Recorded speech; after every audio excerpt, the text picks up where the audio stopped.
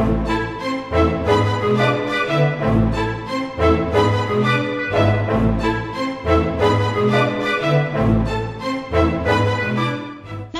gerbang tol di Jatibenang ini akan menuju ke gerbang tol di Kampek.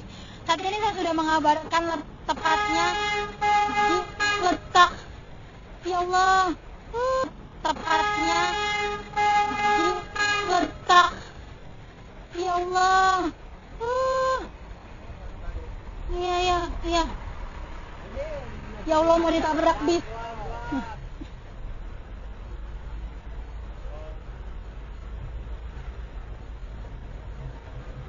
Gosok